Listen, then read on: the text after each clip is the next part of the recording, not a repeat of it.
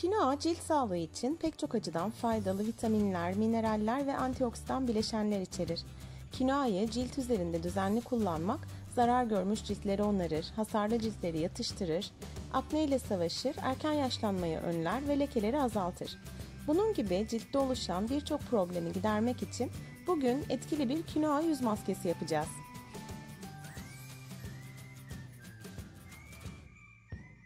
Öncelikle 2 yemek kaşığı kinoayı öğüterek toz haline getireceğim.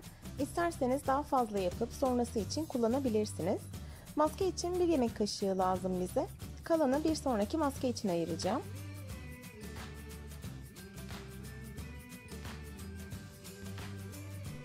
Bu şekilde toz haline getirdikten sonra bir cezvenin içine bir yemek kaşığı kinoa alıyorum.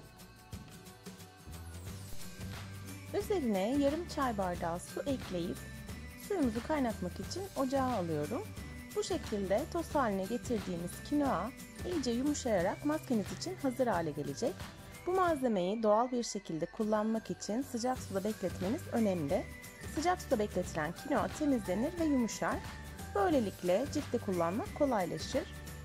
Su kaynadıktan sonra ocağın altını kapatıp yaklaşık yarım saat soğumasını bekliyorum.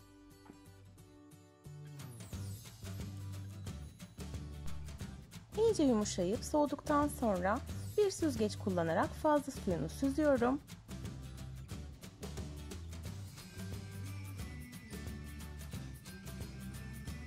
Ve son olarak bir tatlı kaşığı da bal ilave edip güzelce karıştırıyorum. Maskeyi parmak uçlarınızla tüm cildinize hafif dairesel hareketlerle masaj yaparak uygulayın.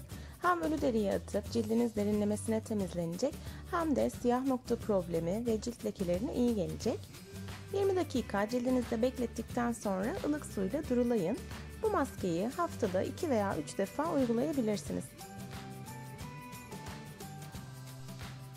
Umarım siz de deneyip memnun kalırsınız. Kanalıma abone olmayı unutmayın lütfen. Tekrar görüşmek üzere. Hoşçakalın.